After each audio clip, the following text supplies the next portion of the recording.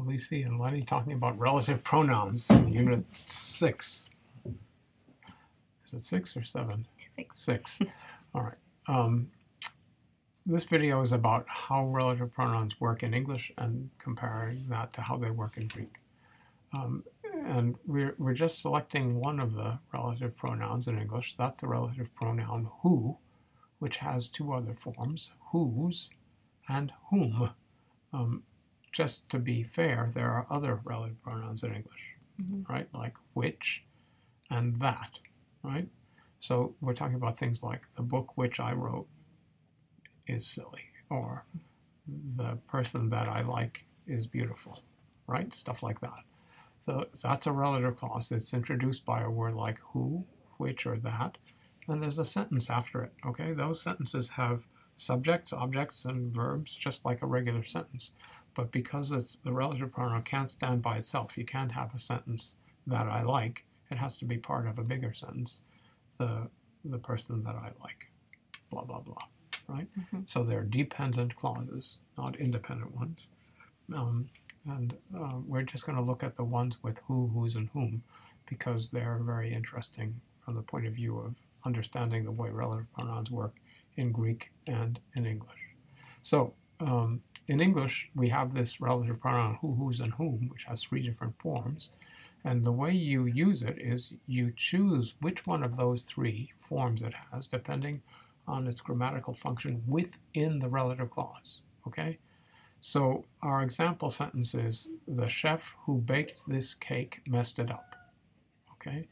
In, in that sentence, who is the subject of the verb baked. Okay?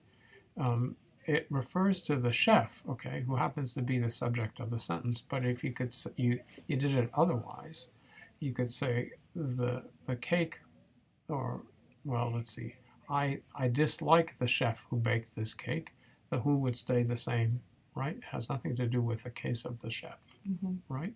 It's all about what you want to say in the relative clause. So because who is the subject there, use the form who.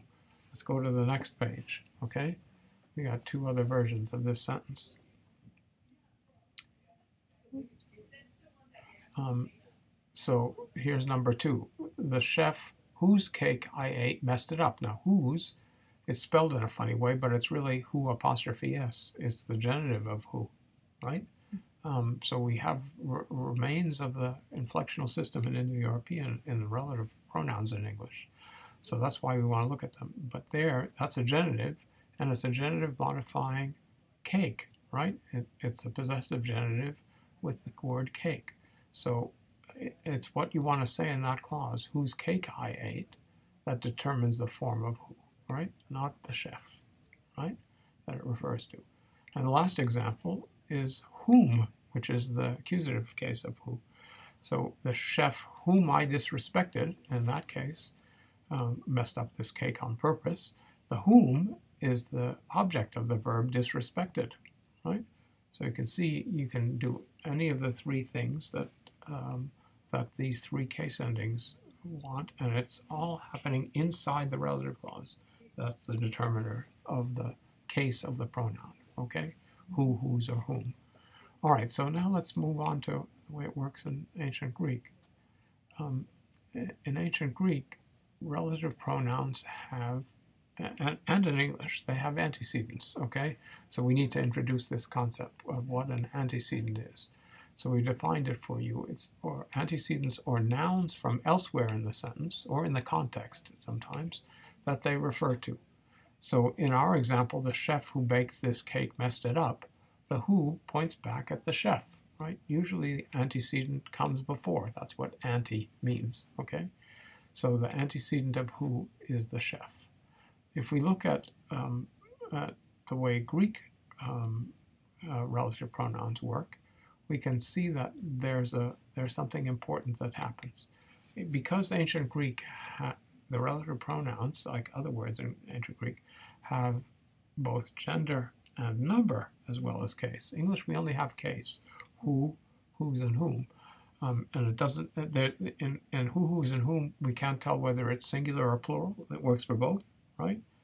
The, the, the, the books, the, the people whom I liked or the men who ate the fish, okay? Mhm. Those are plural forms. We don't distinguish in the relative pronouns.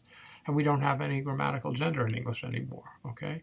Um, but so in English, the case of a relative pronoun is determined only by its grammatical function in the relative clause.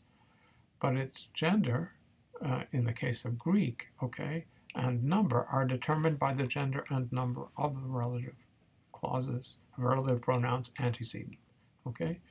English doesn't have gender and number, Greek does, and they're used to make it possible to specify and to remove ambiguities about who the antecedent is of a relative pronoun. There are cases in English sentences where you can't tell, right? So, uh, um, this is the basic idea um, that we want to get across to you about how Greek relative pronouns work. That's the fundamental rule. The case of the relative pronoun is like English, it's determined by its function within the clause. But the gender and the number are determined by the gender and the number of the antecedent. All right, we're going to have another video on the forms of the relative pronoun. That's it.